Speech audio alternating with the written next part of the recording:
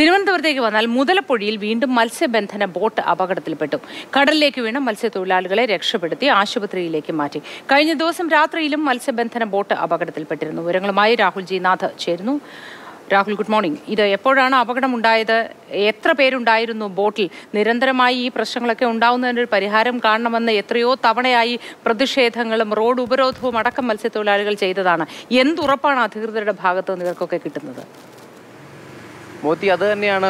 ഉറപ്പില്ലാതെ അവർ ഉപജീവനത്തിന് പോകുന്നു എന്നുള്ള പരാതിയാണ് നിരന്തരമായി നമ്മൾ ഈ വാർത്തയുമായി ബന്ധപ്പെട്ട് മുതലേപ്പുഴയിൽ പോകുമ്പോൾ ഈ മത്സ്യബന്ധനം നടത്തുന്നവർ പറയുന്നത്. അതിന്റെ ആവർത്തനം അല്ലെങ്കിൽ അവർ പറയുന്ന പ്രസ്താവനകൾ ശരിവെക്കുന്ന കാഴ്ചകളാണ് ഓരോ ദിവസവും കാണുന്നത്. ഇന്നലെ രാത്രിയാണ് മുതലപ്പുഴയിൽ വള്ളം മറിഞ്ഞ് അതിൽ ഉള്ള മൂന്ന് പേരും നീന്തി രക്ഷപ്പെടുന്ന ഒരു ഘട്ടം ഉണ്ടായത് ഇന്ന് രാവിലെ ഇതാ ഒരു വലിയ വള്ളം പതിനൊന്ന് പേരടങ്ങുന്ന ഒരു വലിയ വള്ളം രാവിലെ മറിയുന്നു. അതുമായി ബന്ധപ്പെട്ട് എല്ലാവർക്കും രക്ഷപ്പെടാൻ കഴിയുന്നുള്ളത് ആശ്വാസകരമായ വാർത്തയാണ്. അത് തന്നെയാണ് മോത്തി പറഞ്ഞതുപോലെ ഉപജീവനത്തിനായി പോകുന്നത് ഒരു ഒരു എന്താ പറയുക ജീവിതത്തിനും മരണത്തിനും ഇടയ്ക്കുള്ള ഒരു വല്ലാത്ത ഘട്ടത്തിലേക്ക് ഇറങ്ങി പോകുന്നത് പോലെയാണ് അവർക്ക് തോന്നുന്നത്. അതിൽ ഭാഗ്യം തുണയ്ക്കുന്നവർ നീന്തി കയറുന്നു എന്നുള്ളത് തന്നെ മുതിരപ്പുഴയിലെ ഏറ്റവും പ്രധാനപ്പെട്ട കാര്യം. ഏതാണ്ട് രണ്ടായിരം മുതൽ ഇങ്ങോട്ട് എഴുപത്തി പേർക്കാണ് അവിടെ ജീവൻ നഷ്ടമായത്.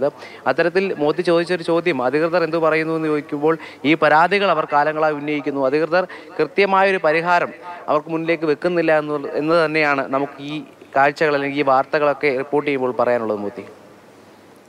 ഈ മുതലപ്പൊടിയിൽ അപകടത്തിൽപ്പെട്ടവരുടെയൊക്കെ ആരോഗ്യനില എങ്ങനെയുണ്ട് രാഹുൽ? തൃപ്തികരമാണോ? നിലവിൽ പതിനൊന്ന് പേരായിരുന്നു ഇന്ന് അപകടത്തിൽപ്പെട്ട വലിയ വെള്ളത്തിലുണ്ടായിരുന്നത്. പതിനൊന്ന് പേരും ചിറയൻകീഴ് താലൂക്ക് ആശുപത്രിയിൽ ചികിത്സയിലാണുള്ളത്. അവരുടെ ആരോഗ്യ നില തൃപ്തികരമാണ്.